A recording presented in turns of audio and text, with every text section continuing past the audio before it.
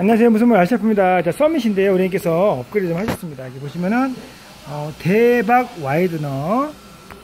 그 다음에 위에 보시면은 어, 서치. 그 다음에 대왕 히트싱크. 그 다음에 요것은 그 윌리바 윌리바 자그 다음에 하부 스키드. 여기까지 하셨고요.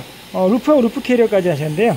제가 동영상 찍다가 보니까 어, 기본적으로 뭐 되는 건 다 되는 거고요. 쇼바도 지금 좀 올려놨습니다. 지상고도 주먹이 쑥쑥 정도 크고요.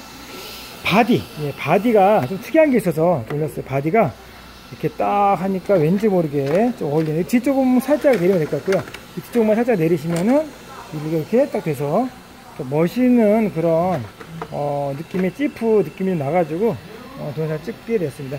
나중에 제가 이렇게 차가 여러 개 다 있거든요 여러 차가 있는데 이 차에다가도 제가 한번 이런 걸 여러 가지 장착해서 한번 영상을 올려볼게요. 좀 특이하기도 하고 신기하네요. 만난 게. 이렇게 이렇게 올려보시고요. 그래도 뭐니 뭐니 해도 뭐 자기 차 body가 제일 이쁘긴 하네요. 네.